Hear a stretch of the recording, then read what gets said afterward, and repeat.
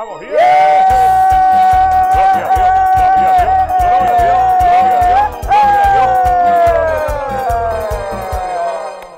Nosotros vamos ahora al primer estudio de la palabra del Señor. Abra su Biblia, que llegó el momento de estudiar la Biblia, la palabra de Dios escrita. Nos vamos a Lucas capítulo 12. Estaremos estudiando del versículo 28 hasta el versículo 48, esos 20 versículos bien explicados, eh, distribuidos acá en los pastores que están ya el día de hoy con nosotros. Lucas capítulo 12, versículo 28 al 48. Pastor Henry Aldana, por favor, léanos usted la Biblia. Así es. Y si así viste Dios la hierba que hoy está en el campo y mañana es echada al horno, ¿cuánto más a vosotros, hombres de poca fe? Vosotros pues no os preocupéis por lo que habéis de comer, ni por lo que habéis de beber, ni estéis en ansiosa inquietud, porque todas estas cosas buscan la gente del mundo. Pero, vuestro Padre sabe que tenéis necesidad de estas cosas.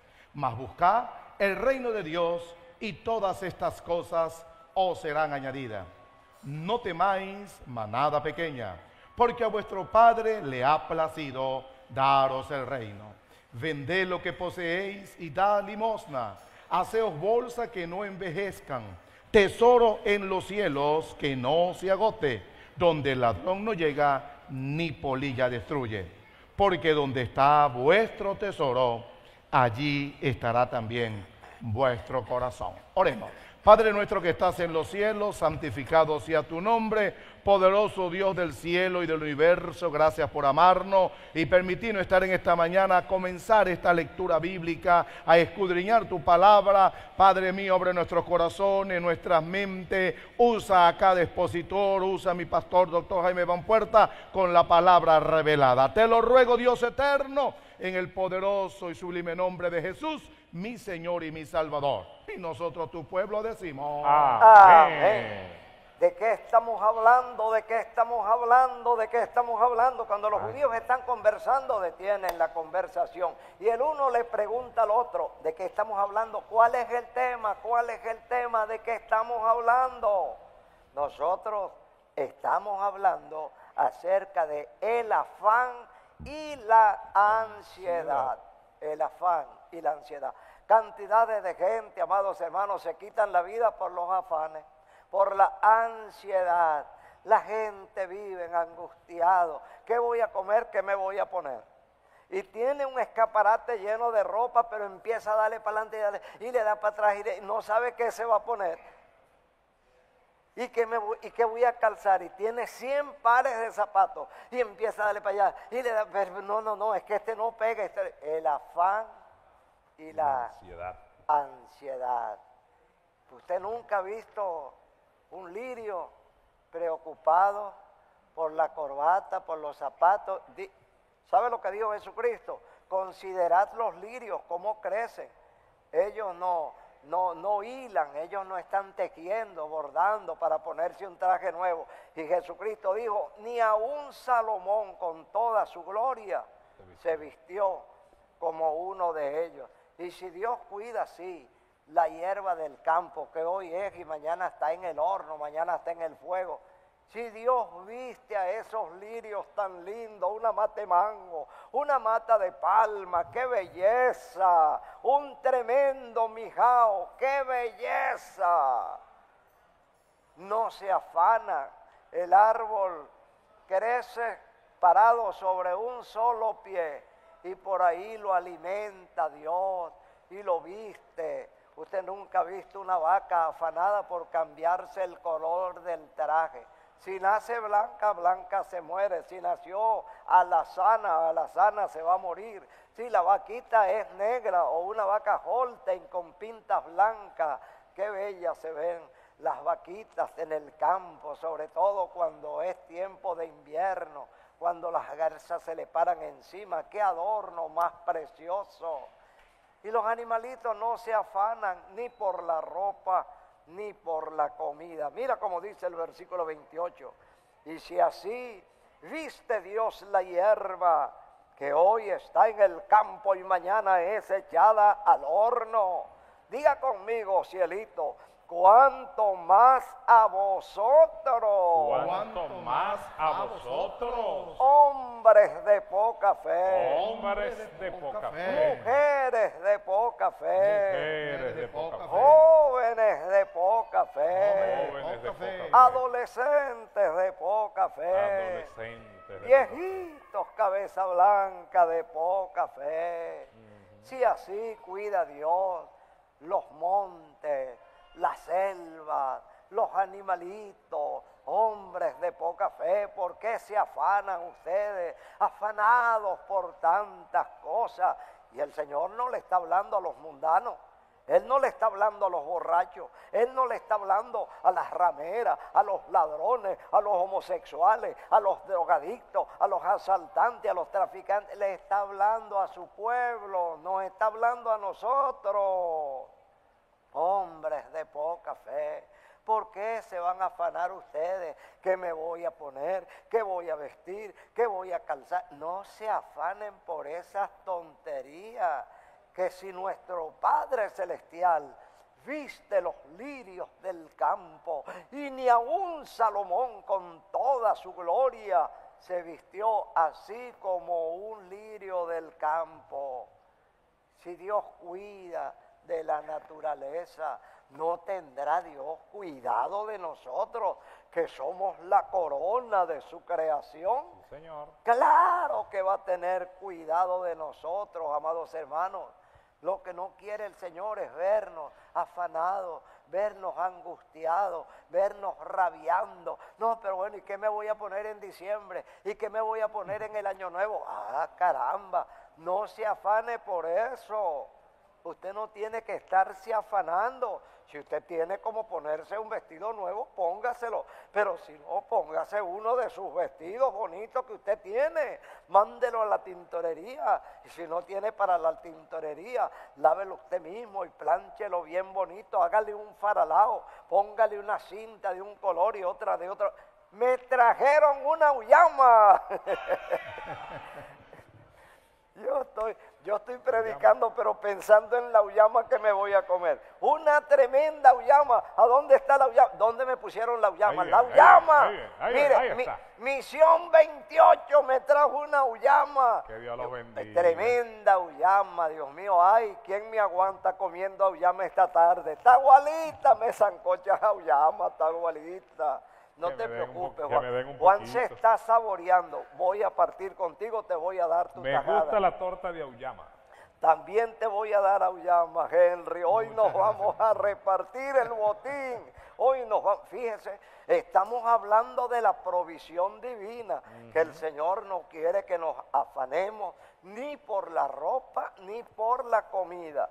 Hermano, cuando andábamos fundando la obra en Venezuela teníamos un gran problema, un problema muy grande, ¿cuál? Llegaba la hora de salir a, predicar la campaña y las pedazos de mujeres metidas adentro cambiándose. No, que me voy Yo le dije, mi olfa, ayúdame, mi olfa, ayúdame, ¿cómo hacemos para resolver esto? Listo, hermano Puerta. El uniforme Cristo sana. ¿Y, y- y de qué color le vamos a poner? Azul marino abajo que representa los mares. Azul claro arriba que representan los cielos. Y arriba le ponemos la pañuelita roja que significa la sangre de Cristo.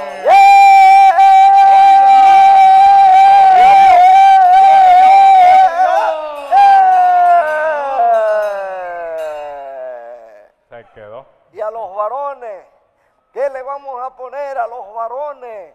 Bueno, a los varones pantalón azul oscuro abajo y arriba camisa clara que representa el cielo y el pantalón azul los mares, las multitudes y la corbata roja. Rojita. Hermano, Roja, bastó y sobró que mi olfa lo dijera. Yo digo siempre. Amén. Aprobado, aprobado mi olfa. Hermano, se acabaron los bochinches, se acabaron los problemas. Todos tienen su uniforme cristosana, parecen unos pajaritos arriba en la plataforma. Eso se ve de lo más bello, de lo más bello se ve. La gente uniformada. Alguien me preguntó y me dijo, hermano, ¿y por qué usan ustedes uniforme dentro de la luz del mundo, los predicadores, los, los oficiales, los obreros? Le digo, porque yo soy militar y el Señor es Jehová de los ejércitos. Él también es militar y a él le gustan la gente uniformada. ¿Cómo sería un hospital donde todos los médicos están vestidos de carnaval, unos de negro, de marrón, de azul, de amarillo, de verde? ¿Cómo sería un hospital donde los médicos no tienen el uniforme blanco, mi Juan? Bueno, papá, sería feo. Imagínese usted que llegue un doctor allá con una bermuda y unas botas Loblan. ¿Verdad lo que era ahí en guardacamisa? Y las enfermeras, las enfermeras vestidas de rojo, vestidas de rosado, vestidas de verde, de azul, de amarillo, de marrón. ¿Cómo se vería el hospital con ese carnaval? Se vería muy feo y además es difícil de identificarlo, hermano Puerta. Nadie sabe quién es el doctor que está de guardia. En cambio, que uno se sube a la plataforma con su uniforme. Yo parezco un cachicamo. Yo todos los días me vengo con mi, con mi Chaqueta chaqueta de los matutinos y atrás le puse un letrero bien grande para no confundirme. Matutino. Y esa chaqueta me la llevo para Israel y por los aeropuertos y la gente me dan vuelta leyendo alrededor la, la chaqueta página web. alrededor. Y, y me dijo un, un judío allá, me dijo, ¿no me puedes traer una chaqueta de esa? Le dije, claro que te la puedo traer. Le gustó la chaqueta, la chaqueta de predicar. Todos los días el hermano Puerta como un cachicamo, todo el tiempo con su, con su chaquetica. Y yo le pregunto a mi Olfa, mi Olfa, ¿cómo me veo hoy? Mi Olfa se queda viendo, me dice, se ve bien. Le digo, no me veo como un morrocoy.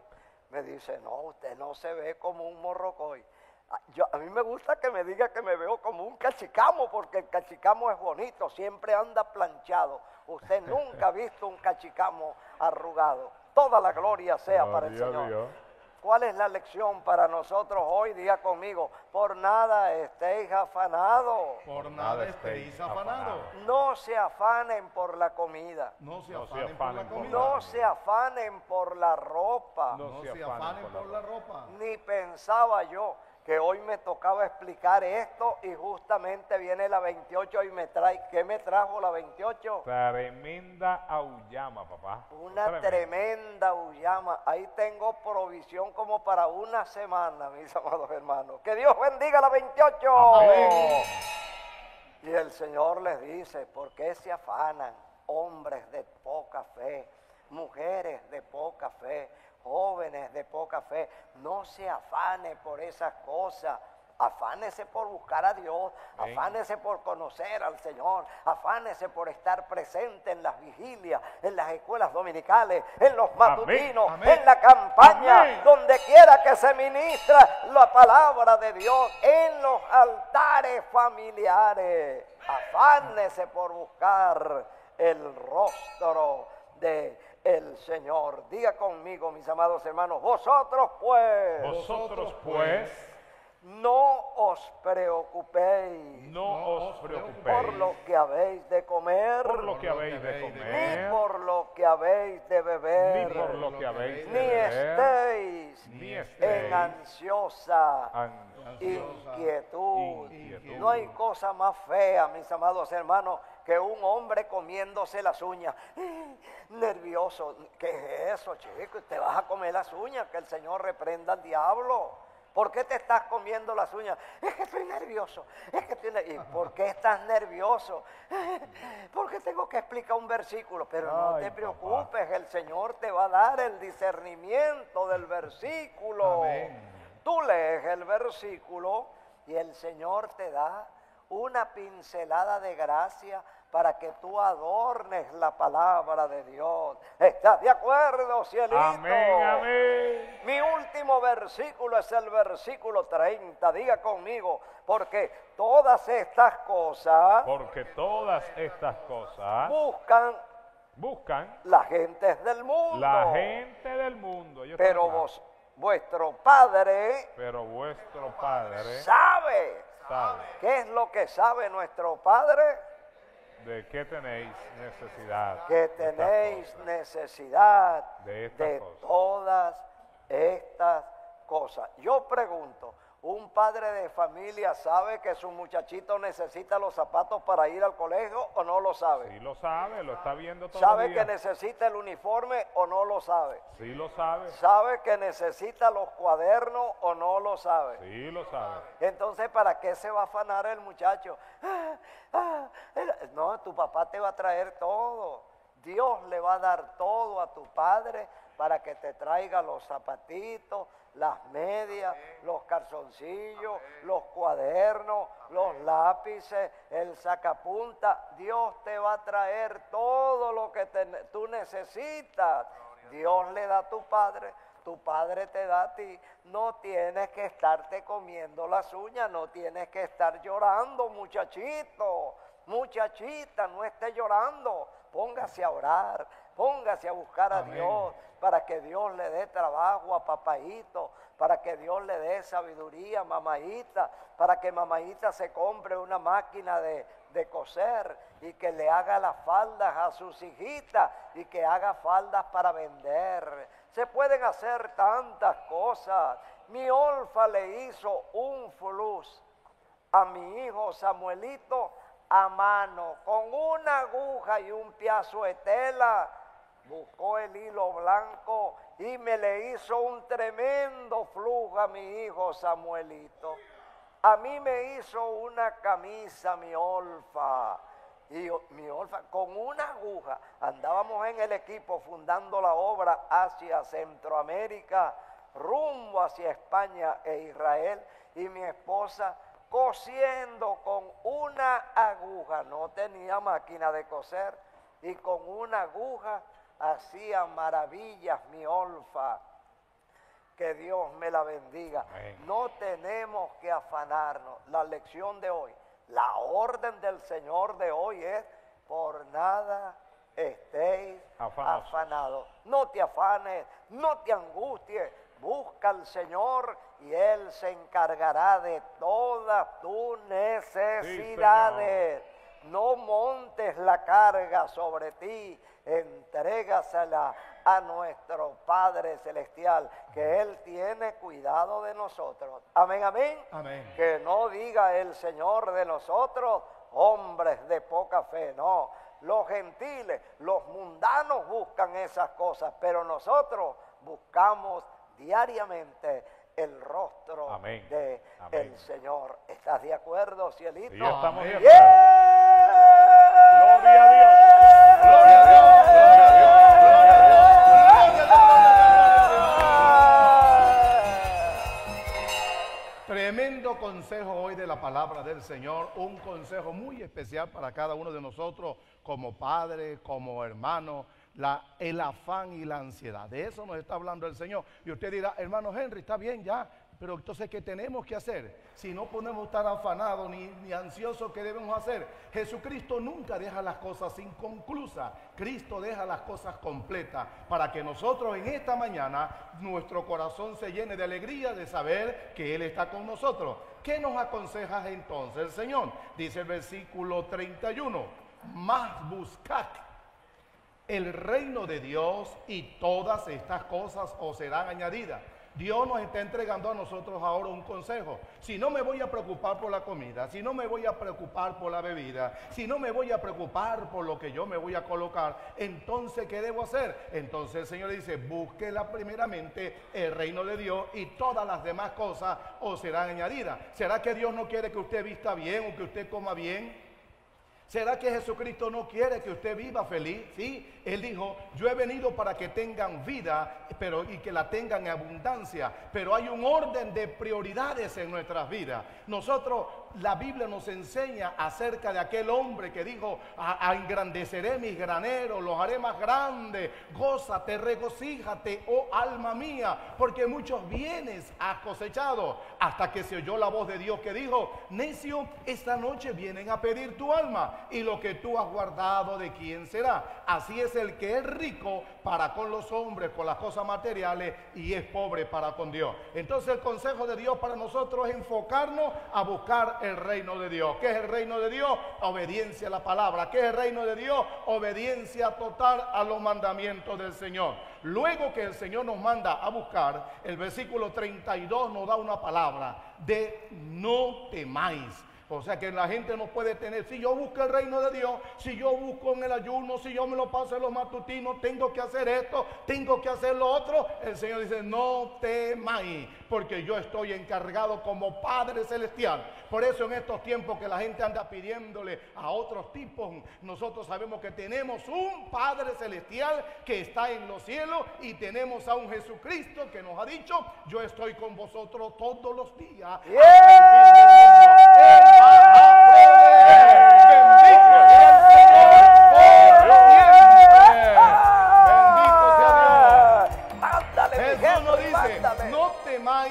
Pequeña. ¿Por qué llama manada pequeña? Porque la mayoría del mundo anda buscando el zapato de moda, anda buscando el vestido de moda, el carro de moda, la colonia de moda. Pero los, pequeños, los que a Dios le plació darnos el reino, nosotros estamos buscando de su presencia. Y la gente de las cocuizas, la gente de aquí de la misión 2830, los que nos ven a través de la televisión, están buscando en este momento el manjar, el maná que viene de arriba, desde los cielos, para la honra y la gloria del Señor. No hay que tener miedo, manada pequeña, porque nuestro Padre nos va a cuidar y nos va a dar el reino. Versículo 33 dice, vended lo que poseéis, vended lo que poseéis y da limosna. Haceos bolsas que no se envejezcan, tesoro en los cielos que no se agote. Oiga bien, tesoro en los cielos que no se agote. Alceo, aseo bolsa que no envejezcan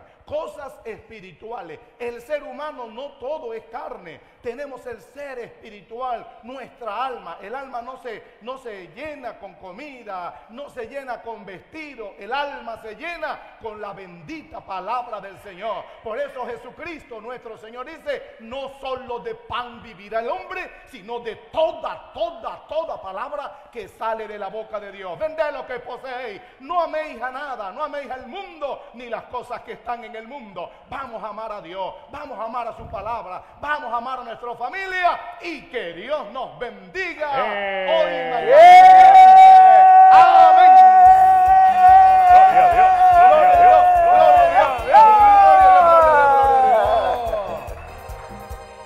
Verso 37. Bienaventurados aquellos siervos a los cuales su Señor cuando venga halle velando. De cierto os digo que se ceñirá y hará que se sienten a la mesa y vendrá a servirle. Eh, se ha hablado ya el hermano Puerta, hermano Juan, hermano Henry, sobre el siervo vigilante, esta parte de no afanarse, estar vigilante, estar pendiente en ayuno, oración, vigilia, trabajando por la ofrenda misionera. Y algunos dirán, ay, ¿cuál es mi recompensa de eso? ¿Cuál es el pago de eso? Aquí está en el verso 37.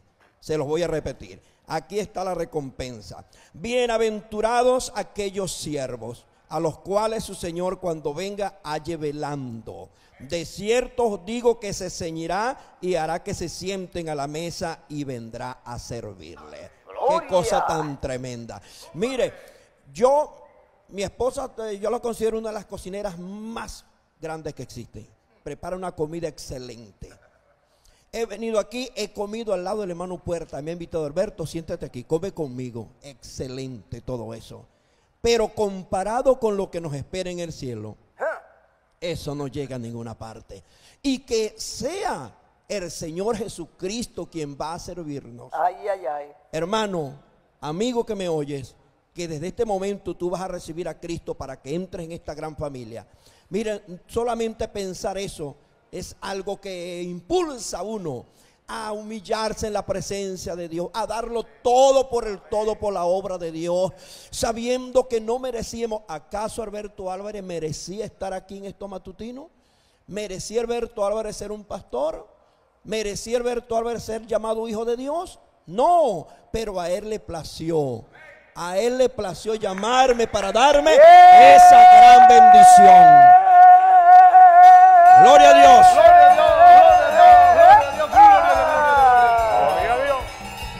Y así nos las ha dado a cada uno de nosotros. Y la Biblia enseña, sé agradecidos. Amén, amén. Sé agradecido. Yo no tengo con qué pagarle al Señor. Mire, por más que me esfuerce, por más que yo haga lo que haga, jamás le voy a pagar. Pero en parte yo tengo que mostrar mi agradecimiento con el Señor. Lo que Dios me ha dado no es mío, es de Él. Es de Él y yo tengo que ponerlo al servicio de Él, de su obra. Yo tengo que hacer que con mis ayunos, mis vigilias y con lo que yo pueda dar económicamente para la ofrenda misionera, una de las cosas que yo le digo a la iglesia, la ofrenda misionera debe ir creciendo y creciendo y creciendo, porque a medida que enviamos y enviamos, muchas almas son salvas y arriba nos espera el grande galardón. Que Dios te bendiga. Amén,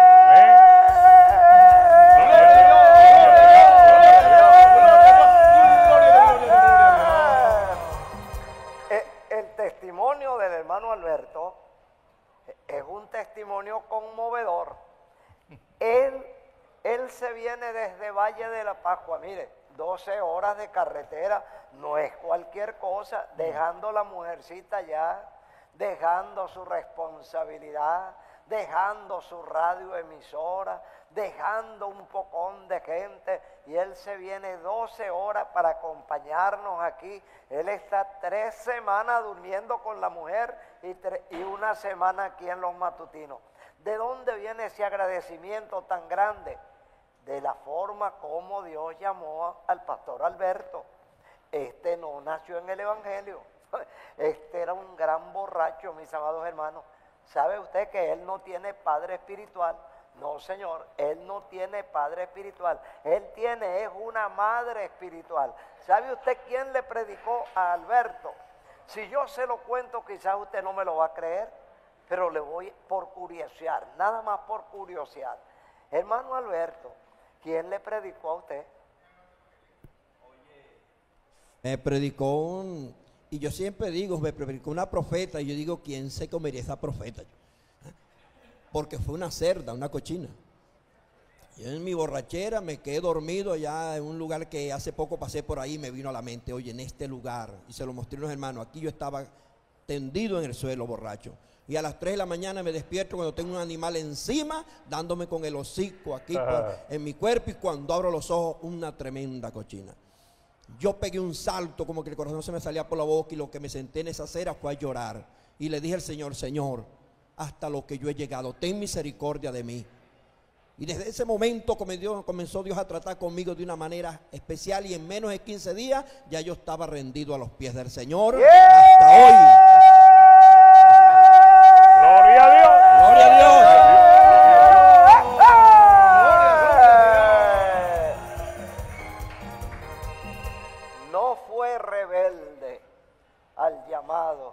Que le hizo el Señor a través de una cochina.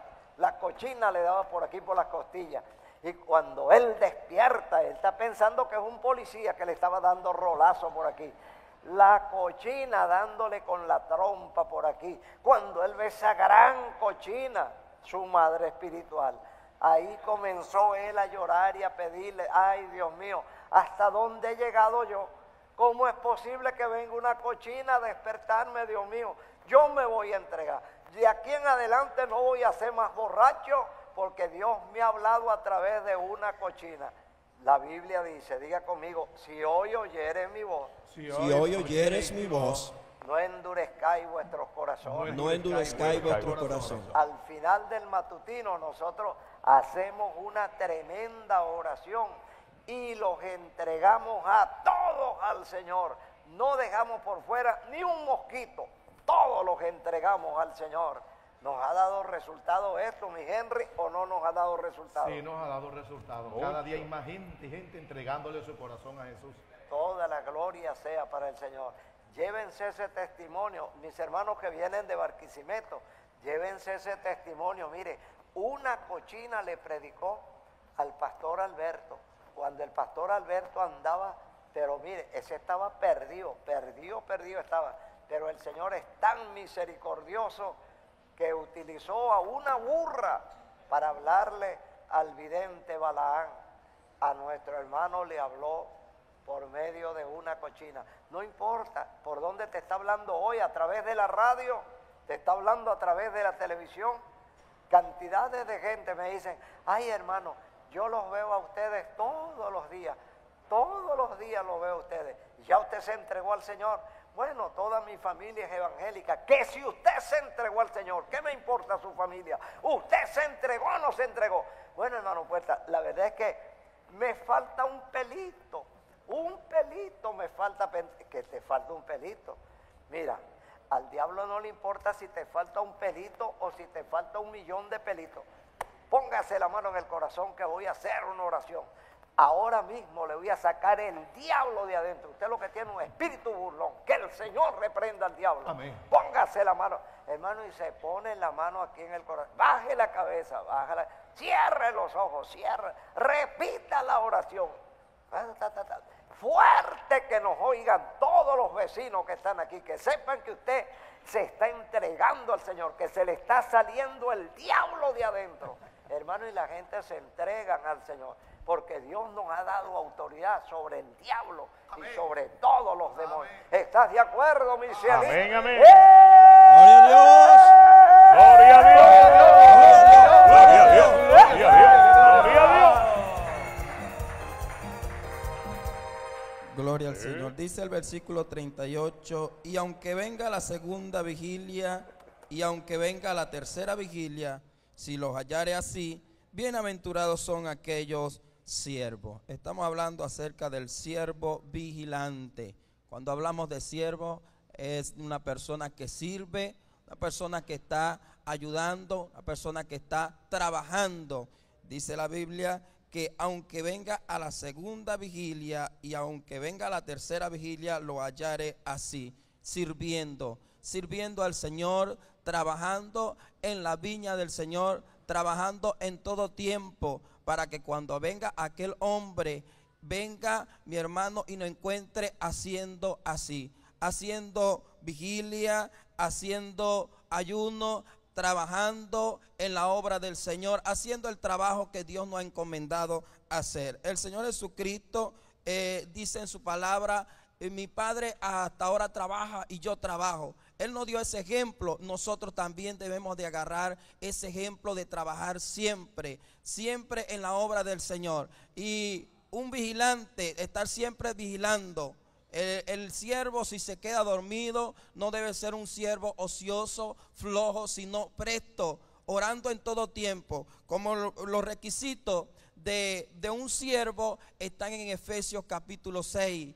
En Efesios capítulo 6 está la armadura de Dios donde nosotros nos vamos a agarrar, ceñir nuestros lomos con el presto del evangelio, de la paz, de la justicia. Y nosotros manteniéndonos así, en el versículo 18 del capítulo 6 de Efesios, dice, orando en todo tiempo y velando con toda perseverancia, orando siempre y manteniéndonos firmes en el Señor. Siendo así, dice la Biblia, bienaventurados somos feliz aquella persona que lo halle haciendo así, no velándole el plato al otro, no velándole la, mujer al vecino, no, velando en todo tiempo, haciendo la obra del Señor y verás la recompensa de Dios. Que Dios nos bendiga y que Dios te guarde.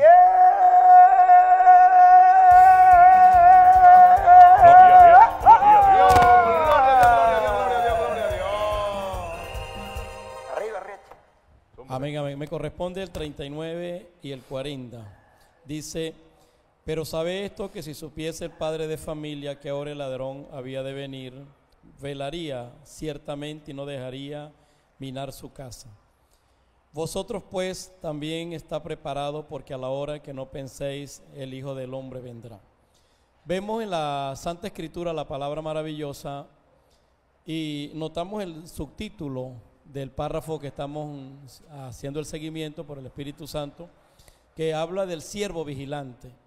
Nosotros notamos ahí a través de la escritura que en la palabra hay una advertencia grande y hace un ejemplo de que si una persona supiese a qué hora podía pasar el ladrón, pues para dañarle, él no dejaría que se acercara a su casa. Pues. Y sencillamente nosotros vemos que en el 40 hay una palabra sagrada, dice, pues también hace un énfasis grande, donde dice que hay que estar preparados. Y haciéndole un seguimiento a esta palabra en el Espíritu Santo de lo que nuestro hermano Pastor Puertas hablaba y nuestro hermano que nos anteceden en la enseñanza, nosotros notamos del afán y la ansiedad, pues. Y nosotros vemos con cuánta preocupación, es un asunto de análisis, de que las personas que nos están oyendo y viendo eh, hagan un análisis de, de, lo que han realizado en su vida. Usted nota que las personas con cuánto eh, fuerzas o tanta trabajo una persona logra llegar a ser un profesional para realizar su vida, para pensar en el bienestar de su familia, de su casa, de sus hijos. Pero es un análisis que la persona debe pensar, si como de esa forma que hacemos para estudiar, trabajar, hacer la realidad de nuestros hijos, mañana nosotros pensásemos en la eternidad, porque esta vida es efímera, esta vida mañana se va a ir, que es la parte física, pero estamos pensando nosotros en la parte eterna, que es nuestra alma, y hay que ser claro en esto, lo que la palabra nos habla es un asunto sagrado, que no penséis, dice la palabra, el Hijo del Hombre vendrá. Viendo de una manera clara, nosotros notamos que la predicación del Evangelio y la extensión de la palabra del Señor para salvación al mundo entero está por todas partes, en todos los medios de comunicación, los evangelistas, pastores y todo el, deseo de nosotros es llevar la información de la palabra del Señor. Pero nosotros notamos que la misma naturaleza y que las situaciones políticas, amado, de salud, sociológica y todo lo que nos rodea a nosotros nos está diciendo que la venida de Cristo está muy próxima a esta tierra. Entonces, ¿qué es lo que el Señor nos llama a nosotros? Hablemos de nosotros como siervos como personas que le servimos a Dios, porque este es un llamado para nosotros los ministros del Señor. Este es un llamado para la iglesia, para cada uno de nosotros, que no es que los estemos preparando, sino que estemos, debemos estar preparados, porque la venida de Cristo es un hecho real a la tierra, nosotros realmente sabemos que esto está pronto a suscitarse a la tierra. Es algo que ha marcado nuestra vida, es el Evangelio, y que debemos estar preparados de verdad como un siervo vigilante. ¿Cómo es el siervo vigilante, hermano? Vigilante en el ayuno, vigilante en la oración, vigilante sobre todo en la obediencia, amado, que, lo, que las ordenanzas y la palabra que sale de los siervos que sirven con nosotros, debemos obedecerla y estamos demostrando que somos un siervo vigilante. Gracias al Señor. Amén, amén.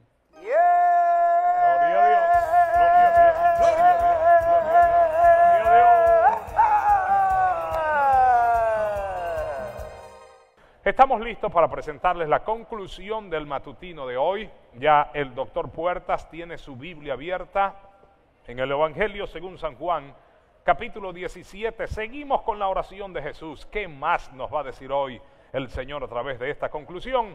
Listos para recibirla. Pastor Henry nos lee el versículo 22 y versículo 23. Disponga su corazón para recibir del Señor la conclusión. Adelante, Henry, con el versículo 22 y versículo 23 del Evangelio según San Juan, capítulo 17. ¿Listo, Henry? La gloria que me diste, yo les he dado, para que sean uno, así como nosotros somos uno. Yo en ellos y tú en mí, para que sean perfectos en unidad, para que el mundo conozca que tú me enviaste y que los has amado a ellos como también a mí me has amado. Padre nuestro que estás en los cielos, llegó a la conclusión correspondiente al día de hoy. Tenemos a nuestro presidente y fundador de la obra Luz del Mundo, nuestro hermano Puerta. Úselo y prepara nuestros corazones para recibir tu palabra. Te lo ruego, Dios eterno, en el amoroso nombre de Jesús, mi Señor y Salvador.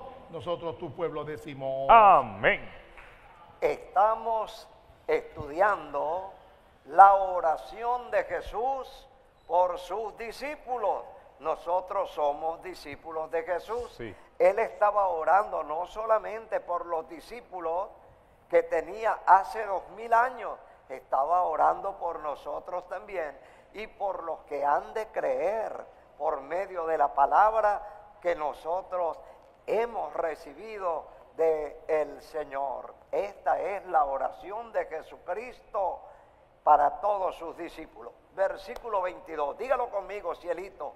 La gloria que me diste, La gloria que me diste, yo les he dado. yo les he dado. Pero ¿para qué el Señor nos ha dado la gloria que Él recibió de su Padre? ¿Para qué? ¿Cuál es el propósito de que Él nos dé la gloria que recibió de su Padre? Diga conmigo, para que sean uno, para que sean uno, así como nosotros así como nosotros somos uno. somos uno. La gloria que tú me diste, yo se las he dado a ellos, para que sean uno, uno, uno, así como nosotros Somos somos uno.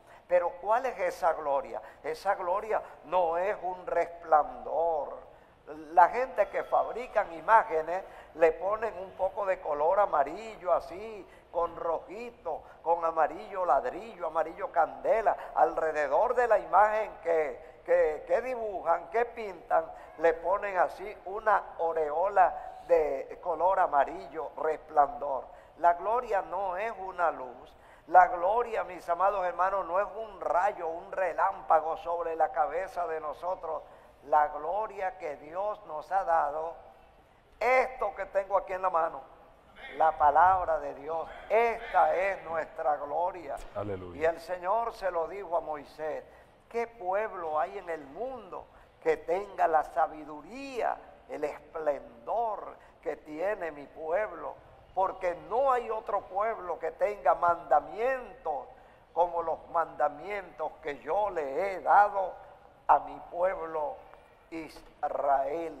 Pues los mandamientos que le dio a Israel son los mandamientos que nos ha dado a nosotros. Amén. El mandamiento principal que Dios le dio a Israel, amarás a Dios con todo tu corazón, con toda tu mente, con toda tu alma, con toda tu fuerza y a tu prójimo Como a ti mismo. ti mismo. Porque en esos dos mandamientos está encerrada La toda la ley. De manera que el que ama a Dios sobre todas las cosas y ama a su prójimo como a él mismo, está cumpliendo toda, toda, toda la ley del Creador. La gloria que me diste, ¿cuál es la gloria? Su palabra, la palabra, ¿qué fue lo que trajo Jesucristo del cielo? Él no traía un resplandor, no traía unos relámpagos. Eh, en estos días le compraron a la niñita, a, mi nieta, una de mis nietas, la de Juan Azarita, le compraron unos zapaticos y esos zapatitos echan luces, echan luces y ella camina y echan las luces y eso para ella la volvía loca. Y entonces, abuelo, abuelo, mire, y mostrándome los zapaticos con las lucecitas que salían. La gloria de Jesucristo, amados hermanos, no son unos, unos relámpagos que le salen por los ojos, unos rayos que le salen por la boca. No, no, no, no, no. La gloria de Jesucristo es la palabra de Dios que recibió del Padre. Y él dijo, así como me- el Padre me envió, yo también os he enviado. ¿Con qué? Con la palabra, con la palabra, con la palabra, con la palabra. No hay gloria más grande que vivir la palabra del Señor. Y cuando nosotros predicamos la palabra, hablamos la palabra, meditamos en la palabra, enseñamos la palabra, la gente se queda, amados hermanos, como en el aire, como en suspenso. Qué bien que habla fulano, qué bien que... Pero no, no es usted, es el Señor a través de su Espíritu es. Santo Amén, por Señor. la palabra que hemos recibido. Mi consejo para usted, que desea hacer algo grande para Dios, no cambie el modelo. No se ponga a estar leyendo libros por allí. Lea la palabra de Dios. Doble las rodillas. Dedíquele tiempo a Dios. Medite en la palabra de Dios. Apréndase cada día un versículo y que ese versículo sea la bandera. Ese es el pan nuestro de cada día. Aleluya. El pan nuestro de cada día no es un panqué. Muy bonitos los panqués, me gustan los panqués, gloria a Dios por los panqués. Ay, se me están cayendo los panqués. Y, y- y Henry de lo más contento. Ah, porque hasta que se le salen los ojos ahí. Los panqués andan volando por el aire. Que Dios bendiga a mi Henry y bendiga a esta persona generosa que nos trajo La esos niña. panqués. El pan nuestro de cada día, Danoslo hoy. hoy. No le estamos pidiendo a Dios que nos dé una panadería, no, no nos le estamos pidiendo que nos dé un depósito con muchos panes. No, dame uno cada día. Dame tu palabra. Una palabra tuya cada día me va a llenar el alma. Me va a cargar como volando. Aleluya. Gloria a Dios, gloria a Dios, gloria a Dios, gloria a Dios.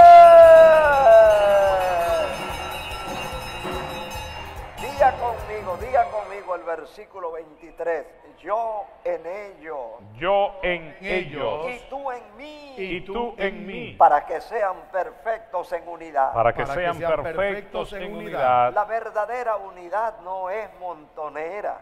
Hay pastores zánganos que les encanta estar invitando a las iglesias pequeñas y cada iglesia que viene le deja una tajada. Eso no es unidad. Unidad no es montonera, que el Señor reprenda al diablo. La unidad es que yo ame a mis hermanos bautistas. La unidad es que yo ore por mis hermanos que están en la ciudad, que están haciendo las obras en el campo. La unidad es que yo les ayude, no solamente con el consejo, sino que me meta la mano en el bolsillo y que coopere con ellos. El pastor que está por allá en arena, que está por allá en arena y tiene una radiecito, una radiecito, mis amados hermanos. Él levantó una vara larguísima y allá arriba puso las dos antenitas y tiene su aparatito y está predicando la palabra de Dios. Que el Señor bendiga ese pastor. Hermano Isidro, mande un poco de jóvenes que vayan a ayudar a ese ministro, que vayan a frizarle la casita, que vayan a pintarle, que le pongan un letrero grande, que identifique esa radio como la voz de Dios. Bendito sea el Señor. Eso es la unidad. La unidad, mis amados hermanos, no es estar trayendo a las iglesias chiquitas para robarle las ovejitas, para robar el maestro de escuela, el médico, el abogado, el hombre que tiene un negocio, quédese aquí con nosotros, que aquí tiene un lugar más bonito. Eso no es unidad. Que el Señor reprenda al diablo. Aquí dice, la gloria que tú me diste, yo se las he dado para que ellos sean uno yo en ellos y tú en mí. La palabra, la palabra, la palabra, la palabra, la palabra que está en el Padre está en el Hijo y está en nosotros los discípulos del Señor. Aleluya. Para que sean perfectos en unidad, para que el mundo conozca que tú me enviaste y que los has amado a ellos como también a mí me has Amado. amado. Qué amor más grande, mis amados hermanos, cuando nosotros ponemos en práctica la palabra del Señor. Cuando yo quiero para ti lo que el Señor me tiene para mí, así como yo quiero para mí lo mejor, quiero lo mejor para ti también. Esa es la perfecta unidad. Que yo no te vea como pasajero de tercera clase. Ah, porque yo tengo una iglesia grande y tú tienes una chiquita. Yo tengo una iglesia que suena bien duro. Tengo una radio que hace bulla, que llega lejísimo y la radio tuya es una radio de tercera línea. Yo soy mejor. No, no, no. Nosotros no tenemos que estarnos comparando con nadie. Nosotros lo que tenemos, amados hermanos, es que ver el único grande entre nosotros se llama Jesucristo. A Él le conviene crecer y a nosotros nos conviene menguar. Menguar. Cuando yo vivo la palabra, tú vives la palabra, somos uno en Cristo Jesús. Aleluya. Que Dios te bendiga, cielito. Gloria a Dios, gloria a Dios, gloria a Dios. Gloria a Dios. Gloria a Dios. Estamos estudiando el libro de San Juan, capítulo 17, y a mí me corresponde el verso 21 y dice de la siguiente manera, para que todos sean uno, como tú, oh Padre, en mí y yo en ti, que también ellos sean uno en nosotros, para que el mundo crea que tú me enviaste. Oiga, estamos hablando, ¿de qué estamos hablando? De la unidad. Dice, para que todos sean uno, dice, como tú, oh Padre, en mí y yo en ti. Dice que también ellos sean uno. ¿Cuáles ellos? Los discípulos. Esta fue una tremenda oración que Jesucristo hizo en aquel tiempo por aquellos y por nosotros también, por los que habían de creer. y él, estaba orando para que todos fuéramos uno en Cristo Jesús. O sea, que hubiese un acuerdo. Por ejemplo, oiga, vamos a poner el ejemplo de nuestro cuerpo. Este cuerpo tiene varios miembros, ¿verdad? Si el brazo tuviera por un lado, la pierna por otro lado, bueno, y cada miembro tuviera eh, por un lado, no fuéramos un cuerpo, ¿verdad que no? Bueno, así quiere el Señor en cada uno de nosotros. Y Él dice, para que el mundo crea, oiga, para que el mundo crea que tú me enviaste. ¿Cómo va a creer el mundo que Jesucristo fue enviado eh, aquí a la tierra? ¿Cómo va a creer cuando todos, cuando cada uno de nosotros seamos uno? Él dice, en esto conocerán todos que soy mi discípulo, si tuvieres amor los unos a los otros.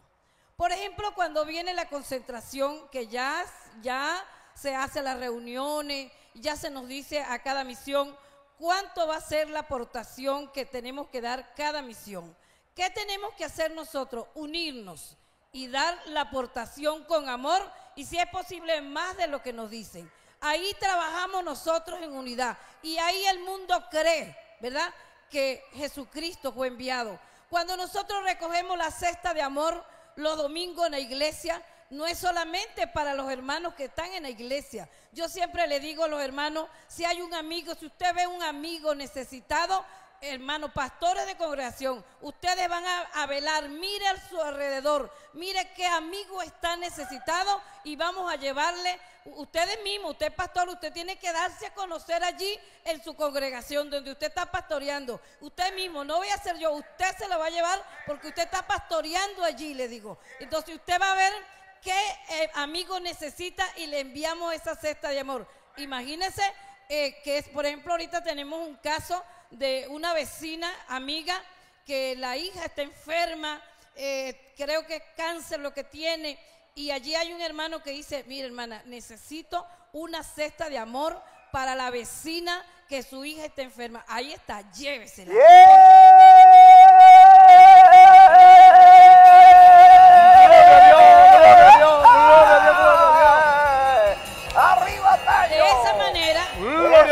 De esa manera nosotros le damos a conocer al mundo, a los vecinos, de que Cristo es enviado y que tenemos amor por ellos. Que Dios nos bendiga y que Dios nos guarde. Gloria a Dios, gloria a Dios, gloria a Dios. Gloria a Dios, gloria a Dios, gloria a Dios. Gloria al Señor, dice la palabra de Dios, Padre, aquello que me me has dado, quiero que donde yo estoy, también ellos estén conmigo, para que vean mi gloria que me has dado, porque me has amado desde antes de la fundación del mundo. Gloria al Señor, vemos acá Jesús ora por sus discípulos. Esta es una oración que nuestro Señor Jesucristo estaba haciendo por los discípulos en aquel tiempo el Señor intercedía por los discípulos. Hoy en día no están los discípulos, pero sí estamos nosotros acá en los matutinos, respaldando al siervo de Dios, a nuestro hermano Puerto, a nuestro hermano Juan Van, a nuestro hermano Henry Aldana. Estamos acá para mostrar la gloria del Padre que está en los cielos. Acá nosotros, el que nos sentamos en ese cielito, vemos la gloria de Dios. Yo he visto la gloria de Dios en mi familia, en mi hogar, en la iglesia. He visto la gloria de Dios derramada de parte de Dios en nuestras vidas. Dice, para que donde yo estoy también ellos estén conmigo. Jesucristo intercede por nosotros. En el momento que usted y yo nos queremos alejar de Dios, en el momento que usted y yo queremos abandonar el ministerio que Dios te ha entregado, allí está Jesucristo intercediendo por su pueblo. Fuimos escogidos antes de la fundación. Claro que sí. Jeremías fue escogido antes del vientre, ya Dios lo había santificado para que viniera a ser profeta a las naciones. Déjeme decirle, joven de Dios, usted que está descuidado, usted que quiere abandonar el ministerio que Dios te ha entregado, aquel que quiere dejar quizás el canto, quiere dejar la adoración, quiere dejar el pastorado, quiere dejar aquella misión que Dios te ha entregado, no lo haga, porque fuiste escogido para hacer el mandato que Dios ha dado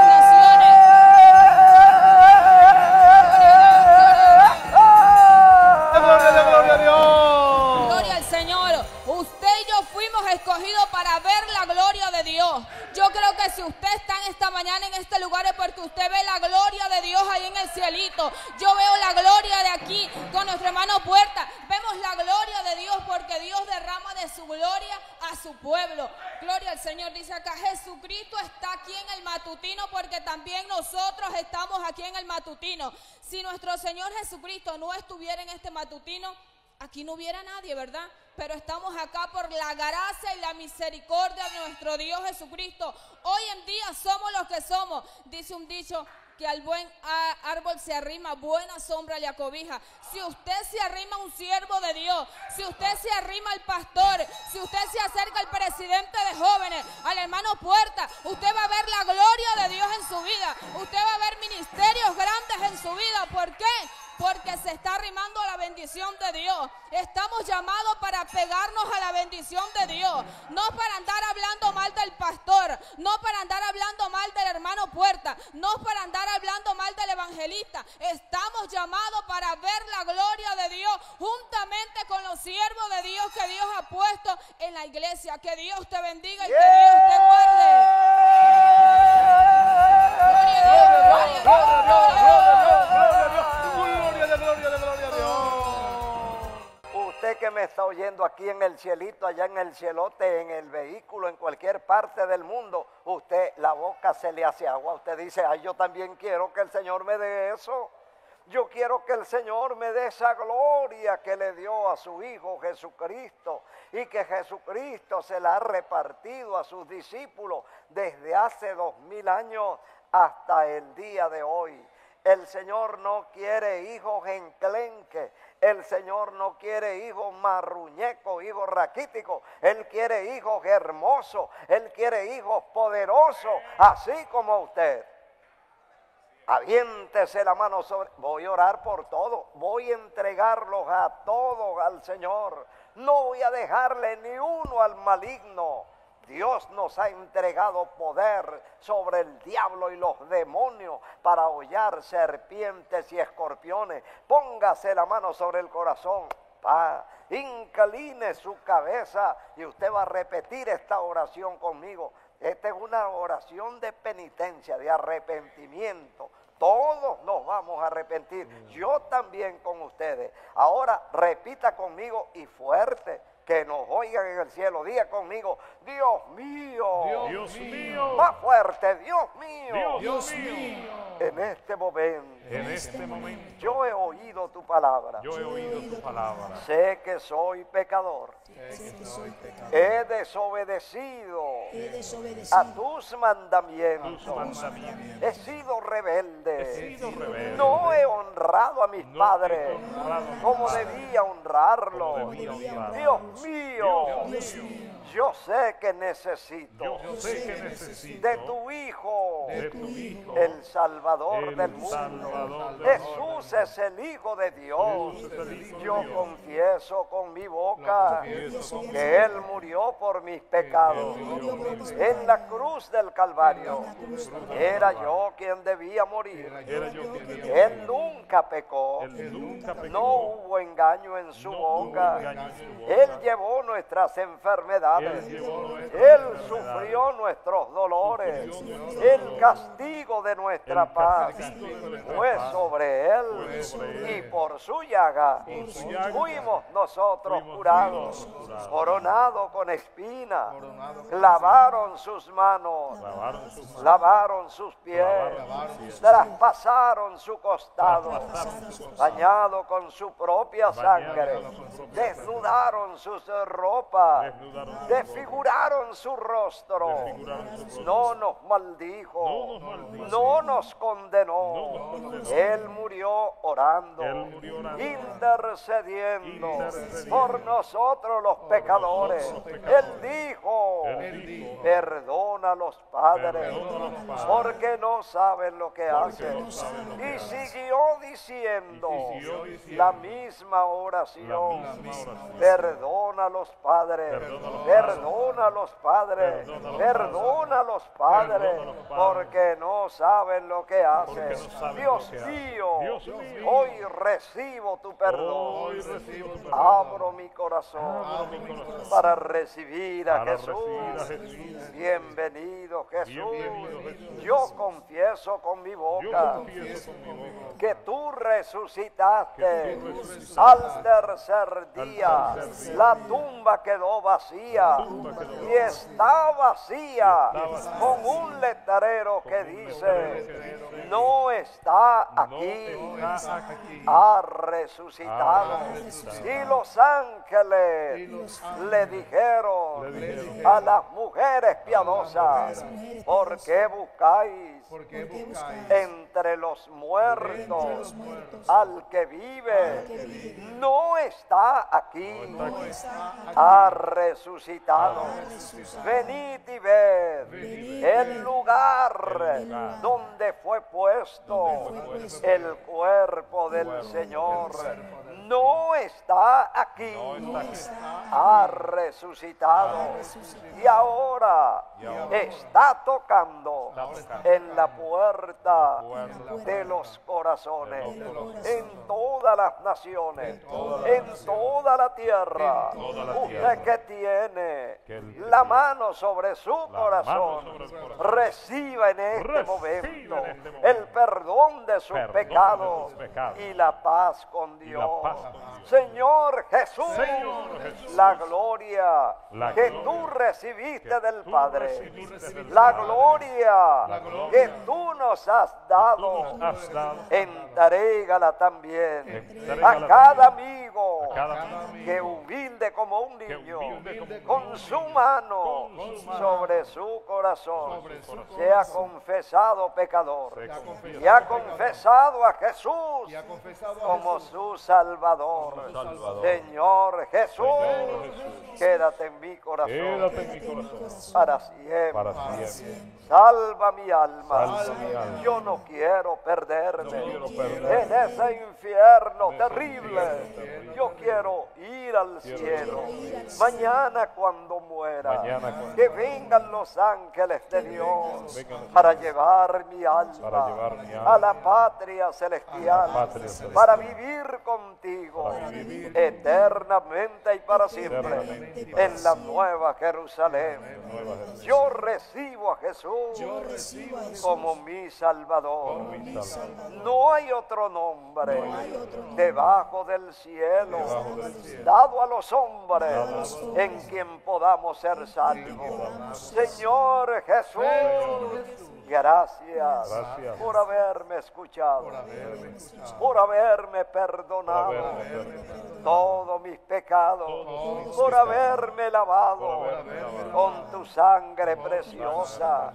Soy salvo, Soy salvo. soy de Cristo, que lo sepa el mundo entero. Señor Jesús, salva mi familia. Salva mi familia. Escribe mi nombre en el libro de la vida. Injértame en la familia de Dios. Dame el gozo de la salvación. Soy de Cristo. Que lo sepa el mundo entero. sepa de Cristo. De Cristo. Desde ahora y para siempre. Ahora pertenezco a la familia de Dios. Oh, gloria a Dios. Ya no estoy solo en este planeta que gira y da vuelta alrededor del sol. Soy salvo. Tengo la vida eterna y no me avergüenzo del Evangelio porque es poder de Dios para salvación de todo el que cree. Oh, gloria a Dios. Oh, gloria a Dios. Soy salvo para siempre. Gloria a Dios. Ayúdame, Señor, para compartir, para enseñar a otros el camino de la salvación. Te lo pido, Padre, en el nombre de Jesús.